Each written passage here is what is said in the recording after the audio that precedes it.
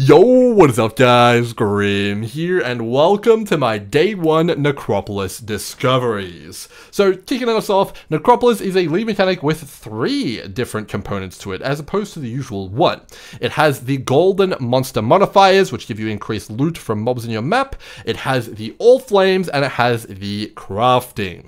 Now the first two are not something I've spent an excessive amount of time on my first day here, so we're going to be leaving those two later videos to experiment with. But what I have spent a lot of time with is the crafting, which is going to be the focus of this video here.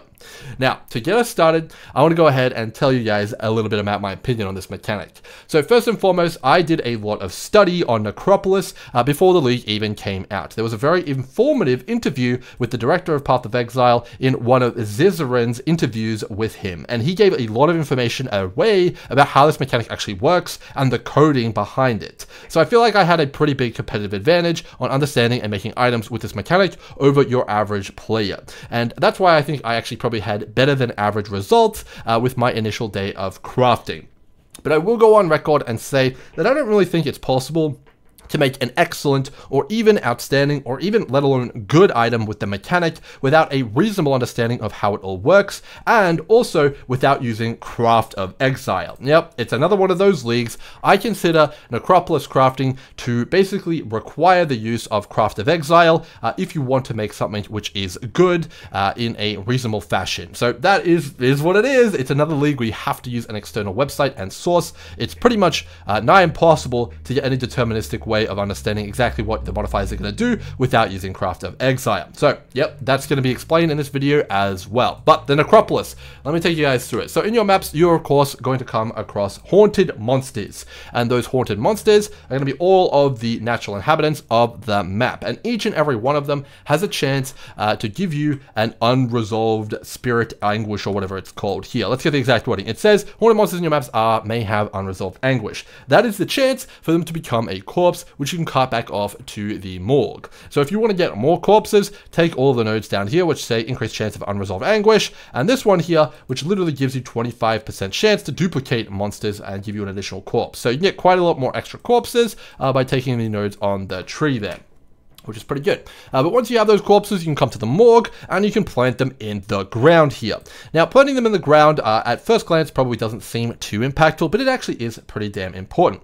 The first thing you guys are going to want to know is that any corpse which is not connected to another corpse will not share its crafting outcomes. So what I mean by that is that all the crafts up here, if I hit craft here and I craft my item with it, uh, that will not use any of the other corpses which are not connected, which means you can have multiple crafting projects on the go at the same time which can be a good way to dump a lot of the corpses out of your morgue uh, if it is full. The other thing you guys are going to want to know is that the uh, the kind of yellow highlights here on which pop up uh, is actually pretty important as well. It means that those two or three, four, whatever uh, graves are adjacent to the one you are highlighting here. Now this is important because there are actually corpses which give you increased effect or you know modifiers or all sorts of stuff like that uh, to adjacent uh, corpses or corpses in a column. Uh, and that means that you can get a lot of extra juice from the Herrera modifiers as well. So you can position them next to other corpses and you know get a little bit of extra efficiency there, which is pretty damn good. Now that we understand how placing corpses works, let me give you guys a little bit more info on exactly how all of the UI works and all sorts of stuff like that, and then we'll get straight into the actual crafting of items, as well as a few items I've already crafted.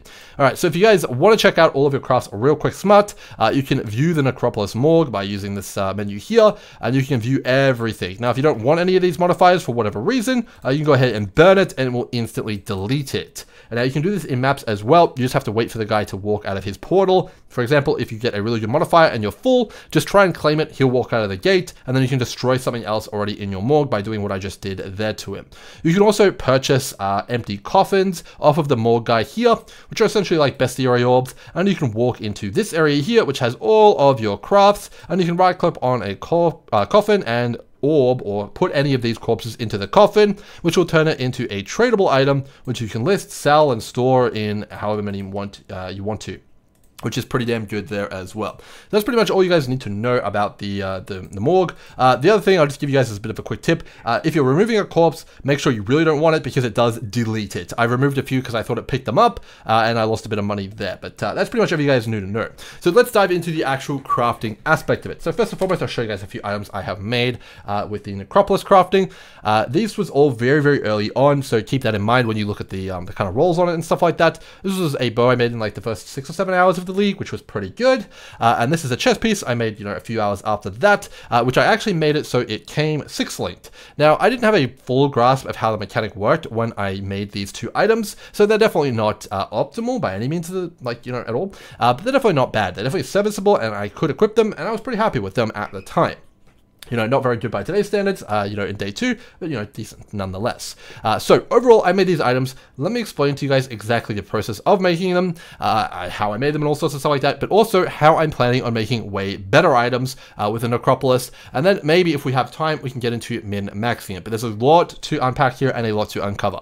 Now, I don't blame you guys if you click off the video halfway through and you're like, this isn't for me. I'm not doing this stuff. It's way too hard. Uh, but I assure you guys, don't worry. Once all the smart people figure everything out, out, uh, it's actually going to be a lot easier to interact with than you might think because you can definitely make recipes which are very easy to execute, follow, and all you need to do is find all the right corpses uh, of trade or gathering them and just put them in the ground and follow the instructions exactly, and you will get the exact same item as the person who has cooked up the craft. It's kind of the big brain figuring it out stuff, uh, which is probably going to be either for you or not for you, uh, which is very similar to the Synthesis League and Harvest League, uh, which we've had in the past. I, I feel like this one's even maybe a little bit more complicated. But let me take you through it. Let's dive into a spreadsheet, shall we? Okay let's get into it. So first thing you guys are going to want to know uh, is this is a spreadsheet here I made with all of the different Necropolis crafts. Uh, there is a lot of crafts which you guys could get, and there's a lot of different numerical ranges that you can get as well, which is going to dictate, you know, how much you get of each of the modifiers.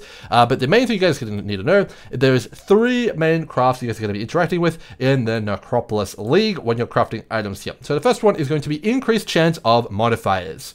Now, in order to understand what on earth this means, as I mentioned, you guys are going to need to have Craft of Exile open on your second monitor, or you're going to have knowledge about all the information on Craft of Exile. Without it, you're basically dead in the water. You are a, a fish out of water, it's not going to be any good. So let me explain all of how that works to you guys. All right, so modifiers. What does this mean? Increased chance of fire modifiers. Well, this is referring to the weight of a modifier with a specific tag. So let's take this one here. This is a bow on Craft of Exile. You can come here and you can peruse all the modifiers that a bow can roll here. Now, the way that mods roll in PoE is it uses a weight system here. So an item on the prefix, for example, let's say we want to roll a prefix, roll the dice. The game is going to check the total weight of an item here, uh, which is 56,000 1,658 here for prefixes on bows, assuming it's item level 86, and it's going to compare all of the weights of all these different tier mods, and it's going to pick one. Uh, so for example, uh, the most likely chance to roll on a bow is going to be one of cold, fire, or lightning damage, because they have the highest weights. Uh, you have an 11,536 out of 56,658 chance uh, at rolling uh, a cold modifier on your prefix here if you were going to roll a prefix. Uh, and that's kind of how it works. It's kind of a fractional system, uh, and it does work with that. Now, within each of the different modifiers, you have tiers, which I'm sure you guys are familiar with, uh, and each tier generally has a lower chance to roll here. So overall, that's kind of how mods are determined. Now what these modifiers do is it increases your chance to get a specific type of modifier based on a tag system. So you can see all the modifiers here have specific tags. So this one here, this leech is attack physical mana.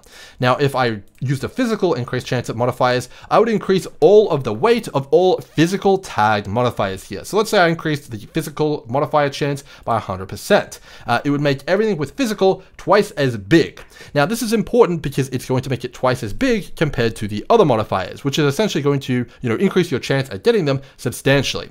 Overall, it will increase the total weight in the pool, but it'll also increase your chance of getting the modifier with the weight that it has. Uh, basically, more chance to get the stuff which you want and you have chosen, which is really, really good. Now, we also have the inverse of this as well. So modifiers are scarcer, and that'll basically do the opposite. It'll reduce the weight of the item, which will make it harder to get that on your item here when you roll it. Uh, uh, so you can kind of combine this. For example, a really, really interesting thing here is uh, that pretty much every single modifier on bow prefixes have the attack tag. So let's say we used uh, less, uh, scarcer, sorry, um, of the attack tag. So attack modifiers are 1000% scarcer, which you can do in the morgue quite easily. Uh, it would take all of the weights of all the different attack ones here, and it would divide them by 10. So it would be 180 weight for elemental damage here, 377.5 for physical damage. Uh, everything would be reduced except one, which is this one here, plus one level of socketed gems, which is pretty cool. Now you have a way, way, way, way higher chance at getting plus one level socket of gems, which is pretty damn good. Now, the other thing you can do is combine these two. So if we reduce all the attack modifiers and then also increased the gem modifiers, now suddenly we're, you know, compounding this. We're getting a much higher chance at one modifier and way less. Uh, it's not full on blocking modifiers like we had in Harvest, uh, but it's damn close to. You're getting really, really good odds on doing exactly the modifiers you want, uh, which is pretty damn cool. Now, that would be all good and dandy, but even if you did that, I can guarantee you all of the items you would craft, or the majority of them, sorry, uh, would be complete and utter trash. D tier, bottom of the barrel, vendor, straight away trash. Now, the reason for that is that if you increase the chance at physical modifiers, you're increasing all of the physical modifiers all at the same time. Most items you want are going to have majority high tier modifiers modifiers because they're so substantially better. Increasing all the physical modifiers here is still going to give you the same chance at getting T1 physical as T8 physical, which sucks, man. You are not going to have any luck. So that brings us to the third modifier over here, which is modifier tier rating. Now, this is what's going to save the day and make it so you can actually make good items. And the way it works is a little bit of confusing, and if I didn't watch the interview with Mark uh, on Ziziaran's podcast or whatever, I would have no clue either. Now, fortunately, we do know how it works straight from the dev's mouth, uh, and we can get into it. So the way it works is as follows. Uh, 100 uh, tier rating, which you guys can see in game here. If I bring up the thing here, you can see if I have any hundreds. I see it says 100 fire modified tier rating. What that means is half. What does that mean? What does half mean? Well, what, what, what does it mean? Okay, half, it means half the modifiers are removed from the tier pool. So we take a look at fire here, if I have 100%, it's going to take the bottom half and remove them as a percentage. Okay, so there's 10 modifiers here, so it's going to take all these 5 and you cannot roll them anymore. That is the way it's going to work here. Now, the way it gets a little bit confusing is when you get to higher tiers than 100. So 100 is pretty easy, 100% reduced tier modifiers, easy, half.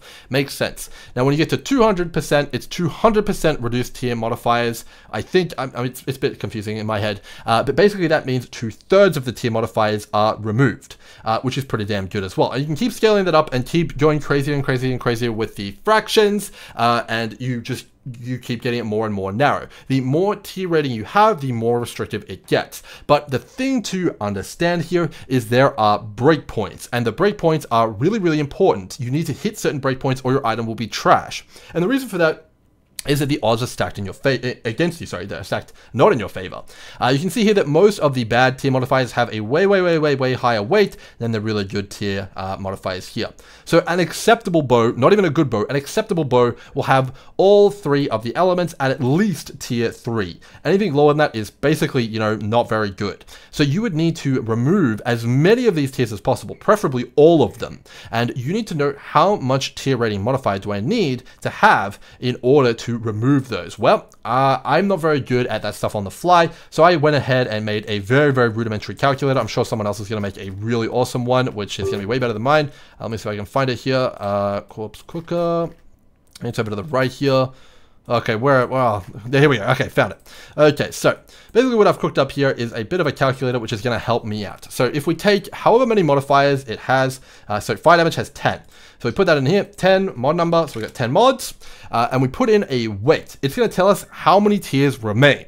So if we have 400 weight, for example, uh, 2.5 tiers will remain. And that basically means that anything on here uh, which is not within the first three, I believe it rounds uh, rounds up, unfortunately, uh, will be removed. You cannot roll them. Impossible to roll them. Assuming your item is item level 82. Now, that's that's a whole nother kettle of fish, but assuming your item level is maximum and all mods are eligible for this, you know, kind of area here, it will cut off the bottom portion here, and it will give you only the higher tier ones. So now you have control over what modifiers will roll and what modifiers won't, and which tiers will roll uh, with complete pretty much determinism. You know, there's a few percent chance here or there, but that can be solved by using more corpses. And the trick remaining is going to be understanding which tags to increase decrease, and raise the tiers of. And that is how to get a good item uh, with this lead mechanic. So I've gone ahead and done a bit of theory crafting here, and I'm going to walk you guys through the thought process on crafting a three tier, um, uh, high tier elemental attack damage bow, uh, because that's what I want. That's what I'm trying to craft, and I'll take you guys through the process here.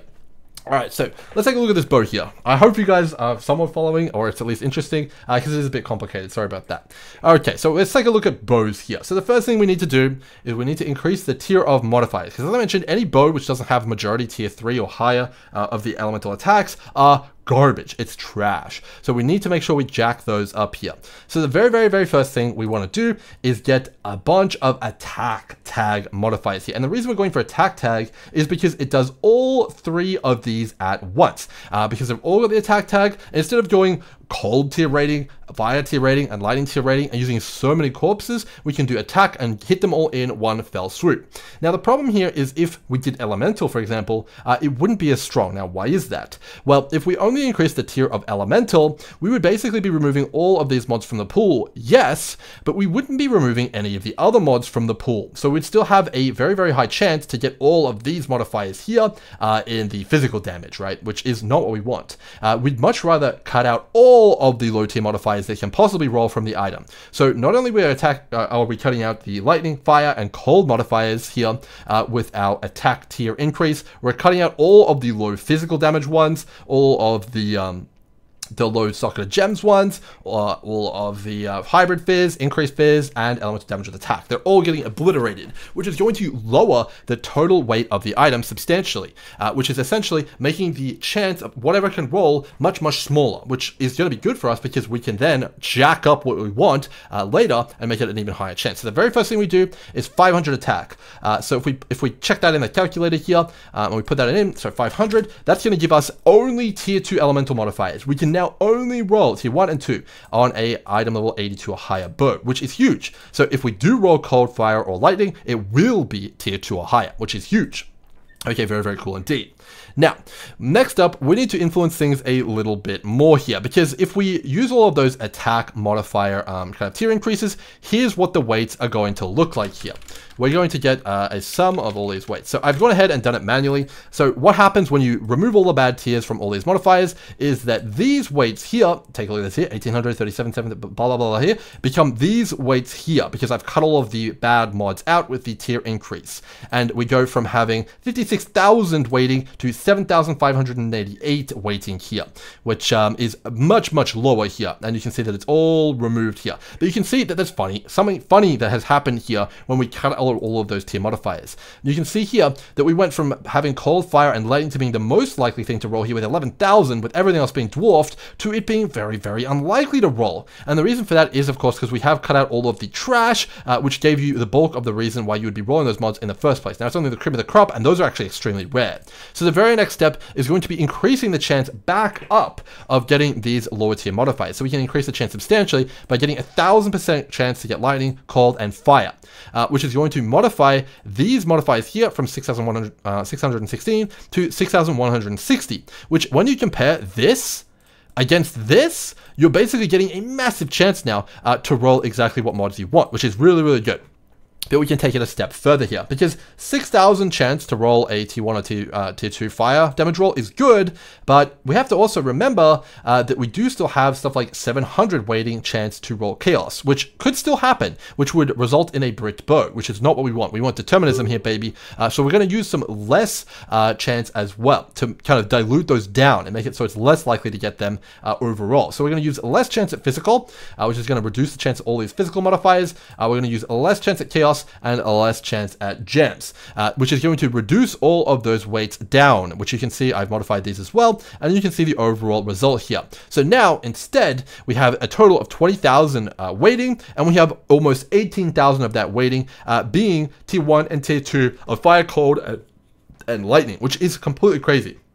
Now, granted, this is going to take some time to set up. Uh, you guys are going to need the right corpses, and you need to make sure that you do use the right increases, decreases, and have enough attack tags in order to make this work. And this isn't actually even considering the suffixes. When you want to get into suffixes and getting crit and attack speed and all sorts of stuff like that, uh, it gets even more complicated, of course. Uh, so you guys are going to have to check that out as well. But my plan was to just get the prefixes done, get them good, and then make sure I do a multi-mod and have a really good bow. But you can go ahead and go crazy with it. You can fill up the whole graveyard and go nuts with it. But hopefully this is giving you guys a bit of an idea on exactly how to manipulate uh, everything using the different modifiers. Now, of course, you can go even more crazy. There's like even more insane modifiers which you can do, which make it even more insane and all sorts of stuff like that. But that's going to have to be future videos, guys. We're almost already at 20 minutes here.